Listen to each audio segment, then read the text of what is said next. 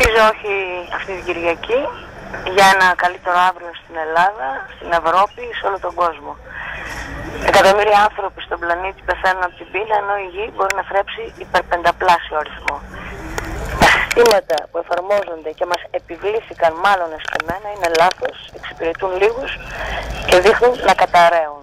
Η Ελλάδα, το λίκνο της δημοκρατίας και του πολιτισμού, οφείλει να είναι πρωτοπόρος στις αλλαγές που ούτως ή άλλως θα συμβούν. Τα πέρατα της υπερπαγής, ακόμα και της συνείδησής μας, βριχόνται δυνατά, μήπως και τρομάξουμε.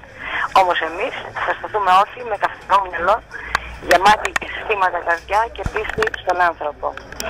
Το ιστερογρα- Το ιστερόγραφό μου είναι αγάπη σε όλους και του όχι και του ναι. Επαναλαμβάνω για εμένα όχι.